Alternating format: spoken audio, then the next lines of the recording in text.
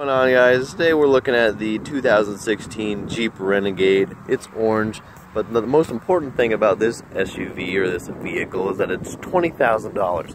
I'm not going to spend much time outside of the vehicle because it's colder than how it normally is in this. Yeah, it's cold. So I'm going to stay inside because I'm worried I'm going to freeze in the middle of the video. But yeah, let's look at this. Let's pull this down real quick. Shabam. It was $26,000. Now it's $20,000.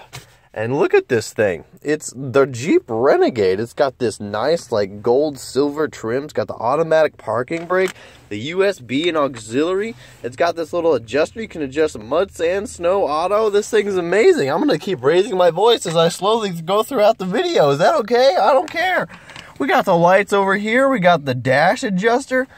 We got your hands-free calling, this little TV. I'm going to start it. Why don't I start it? I'm going to do that too shabam, you got this little screen right here that tells you everything about the vehicle. tells you that the engine's running. That's a very smart feature. I'm just kidding. Moving on. tells you you have, oh, tire low inflate, and it tells you the PSI to inflate the tire to. Do you see that? I'm going to zoom in. Look at that. The power of a camera. Zoom out. Cue music. I'm just kidding.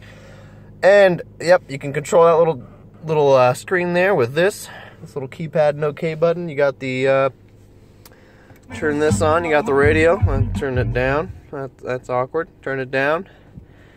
This is a touch screen. You got the compass, radio, phone. You got everything like that. I mean, this thing is awesome. This thing's like the, it's amazing, and it's twenty thousand dollars, people. Oh, this is new, and it's twenty thousand. So I don't know why you guys aren't down here yet, but I know why I'm down here to sell you this car. So come down here, and I'll make it happen.